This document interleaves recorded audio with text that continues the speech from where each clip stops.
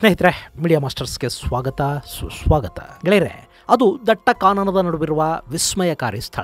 ಅಲ್ಲಿರೋ ಕಲ್ಲು ಬಂಡೆಗಳ ಮೇಲೆ ನೀವು ಕಾಲಿಡೋದಕ್ಕೆ ಕೂಡ ಆಗೋದಿಲ್ಲ. ಆ ಬಂಡೆಗಳನ್ನ ನೋಡಿದವರು ಅಲ್ಲಿ ಓಡಾಡೋದಕ್ಕೆ ಹೆದರ್ತಾರೆ. ಸುಂದರ ಪರ್ವತದ ಮೇಲ್ಭಾಗದಲ್ಲಿರುವ ಆ ಸ್ಥಳ ದೇಶ ವಿದೇಶದ ಪ್ರವಾಸಿಗರನ್ನ ತನ್ನ ತಸೆಳಿತಾ ಇದೆ. ಅದು ಭಾರತೀಯರ ಪಾಲಿಗಂತೂ ನಿಜವಾಗ್ಲೂ ಅತ್ಯಂತ ವಿಸ್ಮಯದನೆಲ್ಲ. ಯಾಕೆಂದ್ರೆ ಅಲ್ಲಿರೋದು ಒಬ್ಬಿಬ್ಬರಲ್ಲ ಬರೋಬ್ಬರಿ ತೊಂಬತ್ತೊಂಬತ್ತು ಲಕ್ಷದ ತೊಂಬತ್ತೊಂಬತ್ತು ಸಾವಿರದ ಒಂಬೈನೂರ ತೊಂಬತ್ತೊಂಬತ್ತು ದೇವಾನುದೇವತೆಗಳು. ಅರೆ, ಇದೇನೋ ಪುರಾಣದ ಕಥೆ ಹೇಳ್ತಾ ಇದೀನಲ್ಲ ಅಂತ ಅಂದ್ಕೊಳ್ಳೋದಕ್ಕೆ ಹೋಗಬೇಡಿ. ಇದು ಭಾರತದಲ್ಲಿರುವ ಕಲ್ಲೊಂದರ ರಹಸ್ಯ. ಅಲ್ಲಿ ಒಂದು ಕೋಟಿ ದೇವರುಗಳಿಗೆ ಒಂದೇ ಒಂದು ಸಂಖ್ಯೆ ಕಡಿಮೆ ಇರೋದ್ರಿಂದ ಆ ಸ್ಥಳವನ್ನು ಉನಕೋಟಿ ಅಂತ ಕರೀತಾರೆ. ಬೆಂಗಾಲಿ ಭಾಷೆಯಲ್ಲಿ ಉನಕೋಟಿ ಅಂದ್ರೆ ಕೋಟಿಗಿಂತಲೂ ಒಂದು ಕಡಿಮೆ ಅಂತ ಅರ್ಥ. ಸೊ ಈ ಸ್ಥಳ ಉನಕೋಟಿ ಅಂತಲೇ ಫೇಮಸ್ ಆಗಿದೆ. ಭಾರತದ ಪ್ರಮುಖ ಶೈವ ಕ್ಷೇತ್ರ ಅನ್ನೋ ಹೆಗ್ಗಳಿಕೆಗೆ ಇದು ಪಾತ್ರ ಆಗಿದೆ. ಇದು ಈಶಾನ್ಯ ಭಾರತದ ಆಂಕೂರ್ ವಾಟ್ ಅಂತ ಕೂಡ ಕರೆಸಿಕೊಳ್ಳಲ್ಪಡ್ತಾ ಇದೆ. ಹಾಗಾದ್ರೆ ಇಲ್ಲಿ ಇಷ್ಟೊಂದು ದೇವರುಗಳ ವಿಗ್ರಹಗಳು ಬಂದಿದ್ದಾದ್ರೂ ಹೇಗೆ? ಈ ಸ್ಥಳದಲ್ಲಿನ ಇತಿಹಾಸ ಏನು? ಇಲ್ಲಿ ಕೇಳಿಬರುವ ಪುರಾಣದ ಕಥೆಯಂಥದ್ದು ಹಾಗೇನೆ ಇಲ್ಲಿನ ಆದಿವಾಸಿಗಳು ನಂಬುವ ಕಥೆಗಳು ಹೇಗಿವೆ ಅನ್ನೋದ್ರ ಬಗ್ಗೆ ಒಂದಷ್ಟು ಮಾಹಿತಿಯನ್ನ ನಾವಿಲ್ಲಿ ನೋಡೋಣ.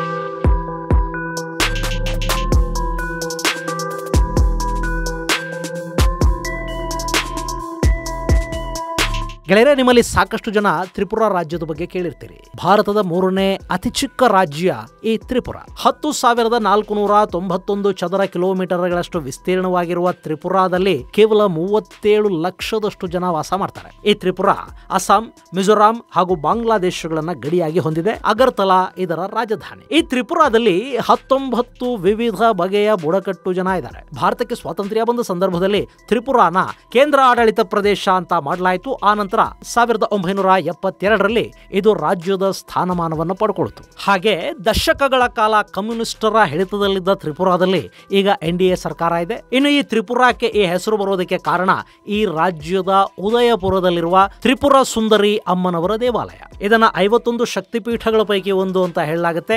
ಈ ರಾಜ್ಯ ಐತಿಹಾಸಿಕವಾಗಿ ಕೂಡ ಅತ್ಯಂತ ಮಹತ್ವವನ್ನು ಪಡ್ಕೊಂಡಿದ್ದು ಅಶೋಕನ ಶಿಲಾಶಾಸನಗಳು ಇಲ್ಲಿ ಕೂಡ ಸಿಕ್ಕಿವೆ. ಇಂಥ ತ್ರಿಪುರಾದಲ್ಲಿನ ಉನಕೋಟಿ ಜಿಲ್ಲೆಯಲ್ಲಿರುವ ಪ್ರವಾಸಿ ತಾಣನೇ ಈ ಉನಕೋಟಿ. ಕೆಲವರ ಪಾಲಿಗೆ ಇದು ಪ್ರವಾಸಿ ತಾಣ ಆದ್ರೆ ಮತ್ತೆ ಕೆಲವರ ಪಾಲಿಗೆ ಇದು ಅತ್ಯಂತ ಪವಿತ್ರ ಶೈವ ಕ್ಷೇತ್ರ. ನಿಮಗೆ ಗೊತ್ತಿರೋ ಹಾಗೆ ಈ ತ್ರಿಪುರ ಹಾಗೂ ಇನ್ನಿತರೆ ಈಶಾನ್ಯ ರಾಜ್ಯಗಳು ಈ ಹಿಂದೆ ಬಾಂಗ್ಲಾದೇಶದ ಮುಖಾಂತರ ಸಂಪರ್ಕವನ್ನು ಪಡ್ಕೋತಾ ಇದ್ವು. ಅಲ್ಲದೆ ಇವತ್ತಿನ ಬಾಂಗ್ಲಾಗೆ, ಅವತ್ತಿನ ಬಂಗಾಳಕ್ಕೆ ಮುಸ್ಲಿಮರ ಆಗಮನ ಆಗೋದಕ್ಕೂ ಮುನ್ನ ಈ ಪ್ರದೇಶಗಳು ಶಿವ ಹಾಗೂ ಶಕ್ತಿಯ ಆರಾಧನಾ ಕೇಂದ್ರಗಳಾಗಿದ್ವು. ಈ ಭೂಪ್ರದೇಶ ಶೈವ ಮತ್ತು ಶಾಕ್ತರ ನೆಲೆ ಅನ್ನಿಸ್ಕೊಳ್ತಾ ಇತ್ತು. ಮತ್ತು ಇದು ಶಿವಶಕ್ತಿಗಳ ಸಂಗಮ ಕ್ಷೇತ್ರ ಅಂತ ಕೂಡ ಹೆಸರುವಾಸಿಯಾಗಿತ್ತು. ಇಲ್ಲಿನ ಜನ ಶಿವ ಮತ್ತು ಶಕ್ತಿಯರನ್ನ ಪೂಜೆ ಮಾಡ್ತಾ ಇದ್ರು. ಉದಯಪುರದಲ್ಲಿ ತಾಯಿ ತ್ರಿಪುರ ಸುಂದರಿ ನೆಲೆಸಿದ್ಲು. ಕಾಮರೂಪದಲ್ಲಿ ಶಕ್ತಿ ಸ್ವರೂಪಿಣಿಯಾದ ಕಾಮಾಕ್ಯ ಮಾತೆ ನೆಲೆಸಿದ್ಲು. ಹೀಗೆ ಈ ಇಡೀ ಭೂಪ್ರದೇಶ ಶೈವರು ಮತ್ತು ಶಾಕ್ತರ ನೆಲೆಯಾಗಿದ್ದ ದಿನಗಳಲ್ಲೇ ಇಲ್ಲಿ ಒಂದು ಕೋಟಿಗೆ ಒಂದು ಕಡಿಮೆಯಷ್ಟು ಶಿಲ್ಪಗಳನ್ನ ಕೆತ್ತಲಾಯಿತು ಅಂತ ಹೇಳಲಾಗುತ್ತೆ ಈ ವಿಗ್ರಹಗಳನ್ನ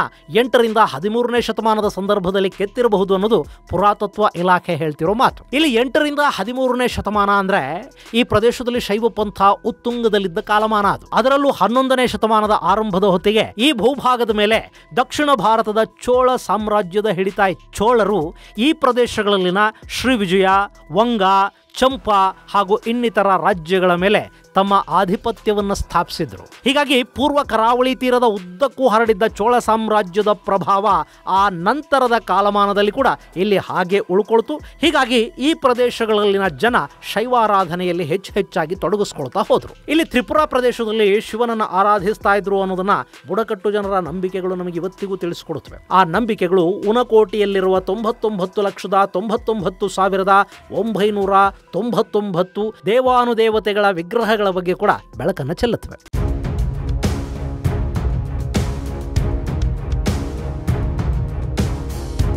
ಇಲ್ಲಿನ ಬುಡಕಟ್ಟು ಜನರ ನಂಬಿಕೆಗಳ ಪ್ರಕಾರ ಈ ಭಾಗದಲ್ಲಿ ಕಲ್ಲು ಕುಂಹರ್ರನ್ನು ಬುಡಕಟ್ಟು ಜನಾಂಗಕ್ಕೆ ಸೇರಿದ್ದ ಶಿಲ್ಪಿಯೊಬ್ಬ ಇದ್ನಂತೆ. ಅವನು ಪಾರ್ವತೀ ದೇವಿಯ ಪರಮ ಭಕ್ತನಾಗಿದ್ದ ಅಂತ ಹೇಳಲಾಗುತ್ತೆ. ಹೀಗಿರುವಾಗ ಈ ಕಲ್ಲು ಕುಂಹರ್ರನಿಗೆ ಶಿವಪಾರ್ವತಿಯರ ಜೊತೆ ಒಂದು ಸರಿ ಕೈಲಾಸ ಪರ್ವತಕ್ಕೆ ಹೋಗಿ ಬರಬೇಕು ಅನ್ನೋ ಆಸೆ ಆಯ್ತಂತೆ. ತನ್ನ ಮನದ ಇಂಗಿತವನ್ನ ತಾಯಿ ಪಾರ್ವತಿಯ ಬಳಿ ಹೇಳ್ಕೋತಾನೆ, ತನ್ನನ್ನ ಕೈಲಾಸಕ್ಕೆ ಒಂದ್ಸರಿ ಕರ್ಕೊಂಡು ಹೋಗುವಂತ ತಾಯಿಯನ್ನ ಬೇಡ್ಕೋತಾನೆ. ಅದಕ್ಕೆ ಒಪ್ಪಿದ ಮಾತೆ ಪಾರ್ವತಿ ಶಿವನನ್ನು ಕೂಡ ಒಪ್ಪಿಸ್ತಾಳೆ.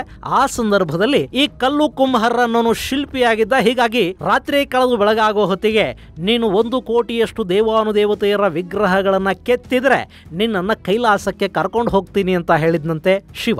ಇದು ಪರಮೇಶ್ವರನ ಷರತ್ತಾಗಿತ್ತು. ಕಲ್ಲು ಕುಂಭರನಿಗೆ ಕೈಲಾಸಕ್ಕೆ ಹೋಗಲೇಬೇಕು ಅನ್ನೋ ಪ್ರಬಲವಾದ ಇಚ್ಛೆ ಇತ್ತು. ಹೀಗಾಗಿ ಅವನು ಇಡೀ ರಾತ್ರಿ ಕೂತ್ಕೊಂಡು ತನ್ನೆಲ್ಲ ಶಕ್ತಿಯನ್ನ ಹಾಕಿ ದೇವಾನುದೇವತೆಗಳ ಶಿಲ್ಪಗಳನ್ನು ಕೆತ್ತೋದಕ್ಕೆ ಆರಂಭ ಮಾಡ್ದ. ಅವನ ಇಚ್ಛಾಶಕ್ತಿ ಅದಿನ್ನೆಷ್ಟು ಗಟ್ಟಿ ಇತ್ತು ಅಂದರೆ ಇಡೀ ರಾತ್ರಿ ಅಂದರೆ ಮರುದಿನದ ಸೂರ್ಯೋದಯದವರೆಗೆ ಅವನು ವಿಗ್ರಹಗಳನ್ನು ಕೆತ್ತುತ್ತಲೇ ಇದ್ದ. ಸೂರ್ಯೋದಯ ಆಯಿತು. ತನ್ನ ಕೆತ್ತುವ ಕೆಲಸವನ್ನು ಅಲ್ಲಿಗೆ ನಿಲ್ಲಿಸ್ದ. ಎಷ್ಟು ವಿಗ್ರಹಗಳನ್ನು ಕೆತ್ತಿದೀನಿ ಅಂತ ಎಣಿಸೋದಕ್ಕೆ ಶುರು ಮಾಡ್ತಾನೆ. ಅಲ್ಲಿ ಒಂದು ಕೋಟಿ ಆಗೋದಕ್ಕೆ ಇನ್ನು ಒಂದೇ ಒಂದು ವಿಗ್ರಹ ಬಾಕಿ ಇತ್ತಂತೆ.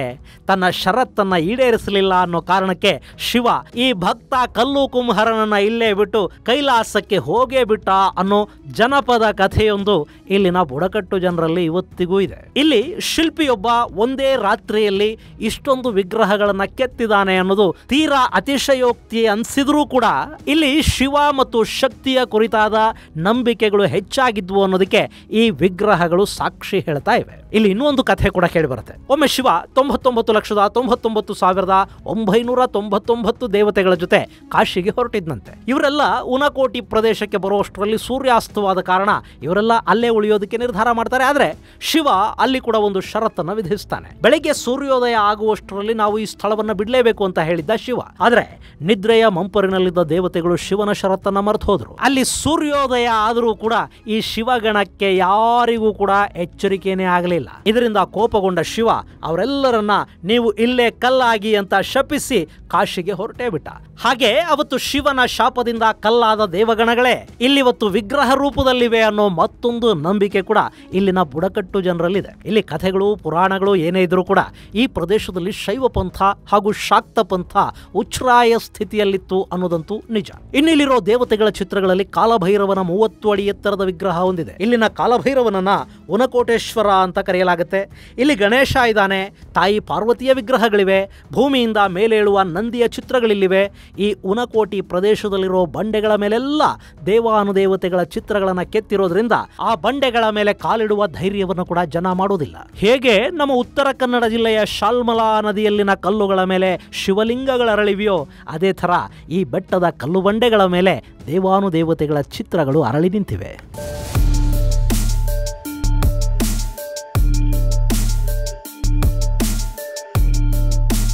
ಗೆಳೆಯರೆ ಇಲ್ಲಿನ ವಿಗ್ರಹಗಳನ್ನು ಗಮನಿಸ್ತಾ ಇದ್ರೆ ನಮಗೆ ಕಾಂಬೋಡಿಯಾದಲ್ಲಿರುವ ಅಂಕುರ್ವಾಟ್ ಹಾಗೂ ಬಯಾನ್ ದೇವಾಲಯಗಳು ನೆನಪಾಗುತ್ತವೆ. ಅದರಲ್ಲೂ ಬಯಾನ್ ದೇವಾಲಯದಲ್ಲಿನ ಶಿಖರಗಳ ಮೇಲಿನ ಮುಖಗಳನ್ನು ಗಮನಿಸಿದರೆ ಆ ಚಿತ್ರಗಳಿಗೂ, ಉನಕೋಟಿಯಲ್ಲಿರುವ ಶಿಲಾಕೃತಿಗಳಿಗೂ ಏನೋ ಒಂಥರ ನಂಟಿರಬೇಕು ಅಂತ ಅನ್ನಿಸದೇ ಇರೋದಿಲ್ಲ. ಯಾಕೆಂದರೆ ಬಯಾನ್ ಮಂದಿರದಲ್ಲಿ ಗೋಪುರದ ಕಲ್ಲುಗಳನ್ನು ಜೋಡಿಸಿ, ಆನಂತರ ಅವರಿಗೆ ಬೇಕಾದಂತಹ ಕಲಾಕೃತಿಗಳನ್ನಲ್ಲಿ ಕೆತ್ತಿದ್ದಾರೆ. ಹನ್ನೆರಡು ಹಾಗೂ ಹದಿಮೂರನೇ ಶತಮಾನದಲ್ಲಿ ನಿರ್ಮಾಣವಾಗಿರುವ ಈ ಬಯಾನ್ ದೇವಾಲಯವನ್ನ ಕೆಮರ್ ರಾಜ ಏಳನೇ ಜಯವರ್ಮನ್ ನಿರ್ಮಾಣ ಮಾಡ್ದ ಅಂತ ಹೇಳಲಾಗತ್ತೆ. ಹಾಗೆ ನೋಡಿದ್ರೆ ಬಯಾನ್ ದೇವಾಲಯದ ನಿರ್ಮಾಣಕ್ಕೂ ಮುನ್ನ ಆಂಕೋರ್ ವಾಟ್ನಲ್ಲಿನ ದೇವಾಲಯ ನಿರ್ಮಾಣ ಆಗೋದಿಕ್ಕೂ ಮುನ್ನಾನೇ ಉನಕೋಟಿಯಲ್ಲಿ ಇಷ್ಟೊಂದು ದೇವತೆಗಳ ಚಿತ್ರಗಳನ್ನ ಬಿಡಿಸಲಾಗಿದೆ ಅನ್ನೋ ನಂಬಿಕೆ ಕೂಡ ಇಲ್ಲಿದೆ. ಇನ್ನು ಬಯಾನ್ ದೇವಾಲಯದಲ್ಲಿನ ಶಿವನ ಮೂರ್ತಿಯ ಮುಖಗಳು ಅವತ್ತಿನ ಕೆಮರ್ ರಾಜ ಏಳನೇ ಜಯವರ್ಮನನ್ನ ಹೋಲುತ್ತವೆ ಅಂತ ಕೆಲ ವಿದ್ವಾಂಸರು ಹೇಳ್ತಾರಾದರೂ ಅದಕ್ಕೆ ಸ್ಪಷ್ಟವಾದ, ನಿಖರವಾದ ಯಾವ ಸಾಕ್ಷ್ಯಾಧಾರಗಳು ಇಲ್ಲ. ಯಾಕೆಂದ್ರೆ ಇವತ್ತಿನ ಯಾವ ವಿದ್ವಾಂಸರು ಕೆಮರ್ ರಾಜ ಏಳನೇ ಜಯವರ್ಮ ಹೇಗಿದ್ದ ಅನ್ನೋದನ್ನ ನೋಡಿಲ್ಲ. ಆ ವಿಗ್ರಹಗಳನ್ನ ಕೆತ್ತದವರು ಯಾರೂ ಕೂಡ, ಇದು ಕೆಮರ್ ರಾಜನನ್ನ ನೋಡಿಕೊಂಡು ನಾವು ಕೆತ್ತಿದ್ವಿ ಅಂತ ಯಾವ ಶಿಲಾಶಾಸನದಲ್ಲೂ ಬರೆದಿಲ್ಲ. ಹೀಗಾಗಿ ಇದು ಕೇವಲ ನಮ್ಮ ದೇವಾಲಯಗಳನ್ನ ಕಟ್ಟಿಸಿದ ರಾಜರ ಮುಖಗಳನ್ನ ಅವತ್ತಿನ ಶಿಲ್ಪಿಗಳು ದೇವತಾ ಮೂರ್ತಿಗಳ ರೂಪದಲ್ಲಿ ಕೆತ್ತುತ್ತಾ ಇದ್ರು ಅನ್ನೋ ಒಂದು ಚರ್ವಿತ ಚರ್ವಣ ವಾದದ ಭಾಗನೇ ಹೊರತು ಇದು ಕೆಮರ್ ರಾಜನದ್ದೇ ಅಂತ ಹೇಳೋದಕ್ಕೆ ಯಾವ ಸ್ಪಷ್ಟ ಸಾಕ್ಷ್ಯಾಧಾರಗಳು ಇಲ್ಲ. ಹಾಗ ನೋಡಿದ್ರೆ ಈ ಬಯಾನ್ ದೇವಾಲಯಕ್ಕೂ ಮೊದಲೇ ಕೆತ್ತಲ್ಪಟ್ಟಿವೆ ಅಂತ ಹೇಳಲಾಗುವ ಉನಕೋಟಿಯ ವಿಗ್ರಹಗಳು ಕೂಡ ಬಯಾನ್ ದೇವಾಲಯದಲ್ಲಿನ ವಿಗ್ರಹಗಳನ್ನೇ ಹೋಲ್ತಾ ಇವೆ. ಹೀಗಾಗಿ ಈ ಎರಡೂ ನಿರ್ಮಾಣಗಳು ಒಂದೇ ಕಾಲಘಟ್ಟದಲ್ಲಾದ್ವಾ? ಅಥವಾ ಉನಕೋಟಿಯಲ್ಲಿ ವಿಗ್ರಹಗಳನ್ನು ಕೆತ್ತಿದ್ದ ಶಿಲ್ಪಿಗಳನ್ನೇ ಕರ್ಕೊಂಡು ಹೋಗಿ ಬಯಾನ್ನಲ್ಲಿ ದೇವಾಲಯ ನಿರ್ಮಾಣಕ್ಕೆ ಬಳಸಿಕೊಳ್ಳಲಾಯಿತಾ ಅನ್ನೋದು ಇವತ್ತಿಗೂ ಸ್ಪಷ್ಟವಾಗಿ ಗೊತ್ತಾಗದೆ ಉಳಿದ ಮಾಹಿತಿ.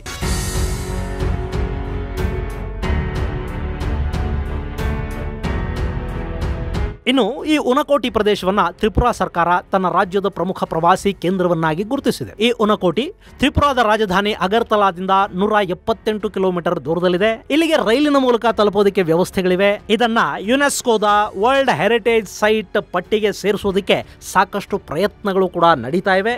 ಅದರ ಮೊದಲ ಹೆಜ್ಜೆ ಯಶಸ್ವಿ ಕೂಡ ಆಗಿದೆ. ಆದರೆ ಇನ್ನೂ ಕೂಡ ಈ ಸ್ಥಳ ಯುನೆಸ್ಕೋ ಪಟ್ಟಿಯನ್ನು ಸೇರಿಲ್ಲ. ಇಷ್ಟಾದರೂ ಇಲ್ಲಿಗೆ ಬರುವ ಪ್ರವಾಸಿಗರ ಸಂಖ್ಯೆ ಏನು ಕಡಿಮೆ ಇಲ್ಲ. ಬಂದ ಪ್ರತಿಯೊಬ್ಬರನ್ನು ಉನಕೋಟಿ ಭಕ್ತಿಯ ರಸದಲ್ಲಿ ಮುಳುಗೇಳಿಸುತ್ತೆ, ಮಂತ್ರಮುಗ್ಧರನ್ನಾಗಿಸುತ್ತೆ. ಈ ಪ್ರದೇಶದಲ್ಲಿ ಸುತ್ತಾಡಿ, ಇಲ್ಲಿನ ರಾಕೆಟ್ ಆರ್ಟ್ ಅನ್ನು ನೋಡಿದ ನಂತರ ಭಕ್ತಿಯ ಜೊತೆಗೆ ಈ ವಿಗ್ರಹಗಳನ್ನು ಕೆತ್ತಿದ ಮಹಾಪುರುಷರ ಬಗ್ಗೆ ಒಂದು ಗೌರವ ಕೂಡ ಉಂಟಾಗದೇ ಇರುವುದಿಲ್ಲ. ಇನ್ನು ಯಾವ ರಾಕ್ ಕಟಿಂಗ್ ಮಿಷನ್ಗಳು ಇಲ್ಲದ ಕಾಲದಲ್ಲಿ ಇಷ್ಟೊಂದು ಅದ್ಭುತವಾಗಿ, ಸುಂದರವಾಗಿ, ಯಾವ ಸೌಂದರ್ಯಕ್ಕೂ ಸ್ವಲ್ಪವೂ ಚ್ಯುತಿಬಾರದ ಹಾಗೆ ಈ ವಿಗ್ರಹಗಳನ್ನ ಕೆತ್ತೋದಕ್ಕೆ ಆ ಶಿಲ್ಪಿಗಳಿಗೆ ಹೇಗೆ ಸಾಧ್ಯ ಆಯಿತು ಅನ್ನೋದು ನಮ್ಮನ್ನು ನಿಜಕ್ಕೂ ಅಚ್ಚರಿಗೀಡು ಮಾಡದೇ ಇರೋದಿಲ್ಲ. ಇದು ಭಾರತದಲ್ಲಿರುವ ಅಸಂಖ್ಯಾತ ವಿಸ್ಮಯಕಾರಿ ಸ್ಥಳಗಳ ಪೈಕಿ ಒಂದು ಅಂದರೆ ಖಂಡಿತ ತಪ್ಪೇನಾಗೋದಿಲ್ಲ. ಗೆಳೆಯರೆ, ಭಾರತದ ನಾನಾ ಕಡೆಗಳಲ್ಲಿ ಇಂಥ ವಿಸ್ಮಯಗಳಿವೆ. ಭೀಮ್ಬೆಟ್ಕ ಇದೆ, ಅಜಂತಾ ಎಲ್ಲೋರ, ಎಲಿಫೆಂಟಾ, ಮಹಾಬಲಿಪುರಂ ನಮ್ಮ ಬಾದಾಮಿ ಸೇರಿದ ಹಾಗೆ ಸಾಕಷ್ಟು ಕಡೆಗಳಲ್ಲಿ ಮನುಷ್ಯ ಮಾತ್ರರಿಂದ ನಿರ್ಮಾಣ ಮಾಡೋದಕ್ಕೆ ಸಾಧ್ಯನಾ ಅನ್ನುವಂಥ